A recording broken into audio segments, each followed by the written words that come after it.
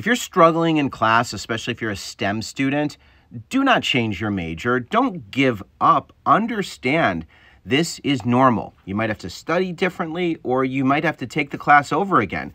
Yes, take it over again. This is very common because these classes are hard. They're called weed out classes because they weed out students who don't think they're enough and doubt themselves. But if you have a dream and you still have a joy for what you do, then you can persist. There's a story I've shared before about a student who took organic chemistry four times. And she went to her doctor. She was a first generation student, and the doctor was supportive along her journey.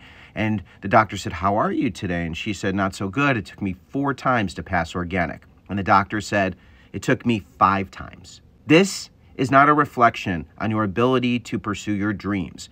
This is a reflection on you taking difficult classes and persisting and getting the help you need so that you can get where you want to go. And if you don't believe me, I ask STEM students who have been there and done it to share how hard were these classes? How did you get through this? Please remind other students that this is normal, this is part of the process.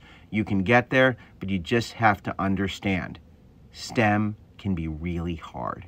Be kind to yourself and don't give up on your dream.